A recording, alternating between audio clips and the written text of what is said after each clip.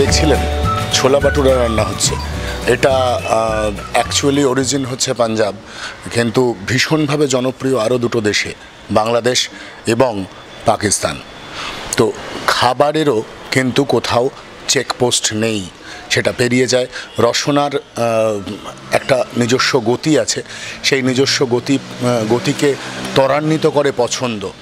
এবং সেই কারণে এটা বিভিন্ন দেশে একই খাবার বারবার জনপ্রিয়তা পেয়ে পেয়ে তার একটা নিজস্ব বহিরঙ্গের সীমারেখা তৈরি করে, যে সীমারেখাটা প্রতিদিন বাড়ছে। তো এই খাদ্যাভ্যাস এবং বিভিন্ন অভিজ্ঞতা, সেই অভিজ্ঞতার মধ্যে কখনো বা এরকমও আছে যে কোনো বৈষ্ণব মানুষ তিনি আমাদের কিচেনে কাজ করেন, তিনি মাংস খান না। তো তিনি ঈশ্বরের কাছে প্রতিদিন সকালে ক্ষমা চান যে আমার তো পেটের দায়, তো আমাকে এই কাজটা করতে হচ্ছে। তখন সদ্য সদ্য একটা সংবাদ মাধ্যমের পেশা থেকে সরে এসে নিজের জন্য একটা ব্যবসা করব, সেরকম ভাবনা চিন্তা থেকে টাংস্টেন তৈরি করেছি।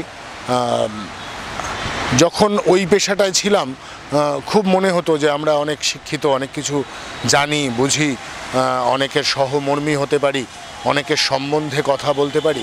তো এই পেশাটায় এসে কিছুতেই খুব কমফোর্টেবল লাগছিল না। তো এই হেন সময় আমার দুই সহকর্মী ছিলেন, একজন নিরঞ্জন দাস আর একজন আরমান। নিরঞ্জন দা চাইনিজ দেখতেন এবং ইন্ডিয়ান অ্যান্ড মোগলাই দেখতে, দেখতো আরমান। আরমান বাচ্চা ছেলে। তো এদের কাছ থেকে অনেক কিছু আমি ক্রমশ শিখতে পেরেছি। তো সেখানে একটা বড় জিনিস যেটা আজকের দিনে দাঁড়িয়েও আমরা যখন খবরের কাগজের পাতায় চোখ রাখি, তখন হ্যাঁ আমি বলতে বাধ্য হচ্ছি যে সেকুলার ভাবনা ইত্যাদি প্রভৃতি নিয়ে বিভিন্ন ধরনের কথাবার্তা দেখি, যেগুলো দুঃখ তৈরি করে, রাগ তৈরি করে। আমি আমাদের কিচেন থেকে প্রথম আমার দেখা শুরু হলো যে দুটোই কিন্তু ধার্মিক লোক, দুজনেই।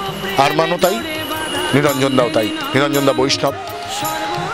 অথচ তারা প্রত্যেকে, প্রত্যেকের ধর্ম রক্ষাকে প্রোটেক্ট করে কিচেন চালাতো। আজকে খাদ্য ব্যবসায়ী হিসেবে সেটা কোথাও একটা আমায় গর্ব দেয়। একটা ঘটনা আপনাদের বলছি। ঘটনাটা এরকম যে নিরঞ্জন দা বৈষ্ণব মানুষ তো তিনি মাংস টাংস খান না। অসাধারণ চাইনিজ বানান যে কোনো চিকেন আইটেম অসাধারণ খেতে ছিল। তো তিনি ওই আমাদের তো চিকেন ওখানে কাটা হতো না।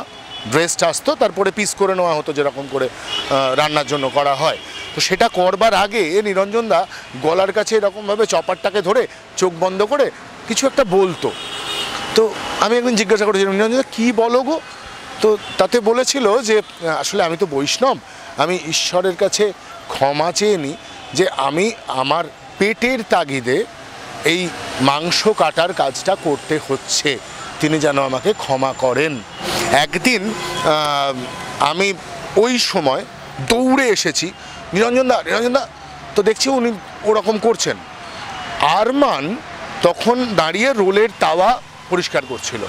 চিৎকার করে বলছে যে क्या भैया आपको अभी आना है अभी निरंजन दा खुदा ताला से बात कर रहा है তব প্রেম আকর্ষণে সবে ভুলি যাই এমন তোমার গুণ তো আমরা যারা মাটিতে হাঁটি আমরা যারা খেটে খাই আমরা জানি কিভাবে পরধর্ম সহিষ্ণুতার চিত্র আমরা তৈরি করতে পারি এটা বোধহয় ফুড বিজনেসে আসার পরে যে কটা জিনিস শিখেছি, তার মধ্যে অন্যতম।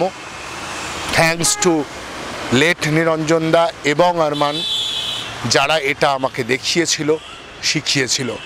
যখন বড় বড় কথা, বড় বড় ভাব বিভিন্ন জায়গাতে আসতে দেখি, তখন আমরা হয়তো এটা বলতে পারি যে আমরা একটা সেকুলার প্রফেশনে আছি, যে প্রফেশনে আমরা বহু ধর্মের মানুষ একসঙ্গে কাজ করি, তার কালচার ওই রান্নায় মেশে, কিন্তু আমাদের কারুর জাত চলে যায় না।